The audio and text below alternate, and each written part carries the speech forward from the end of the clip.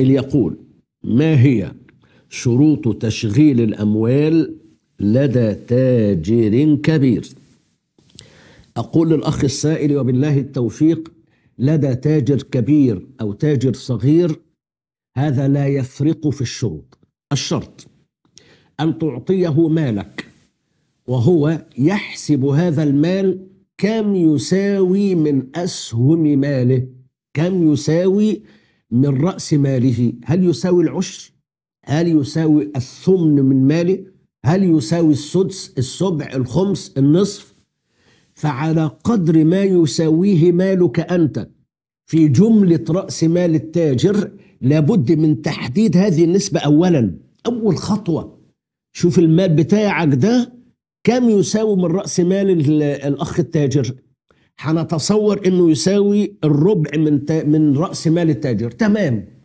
اذا أنت مع هذا التاجر على الربح والخسارة أنت لك ربع الربح أو عليك ربع الخسارة طبعا بعد استيفاء المصروفات العامة.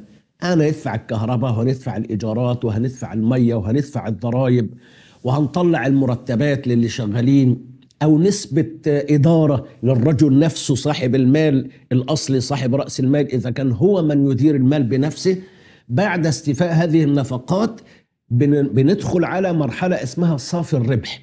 إخواننا المحاسبين بيقولوا إحنا بنعمل الربح على خطوتين الخطوة الأولى مجمل الربح الخطوة الثانية صافي الربح.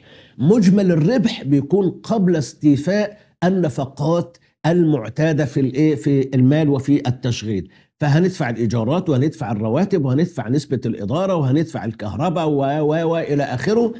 ما تبقى من الربح هيبقى هو صافي الربح.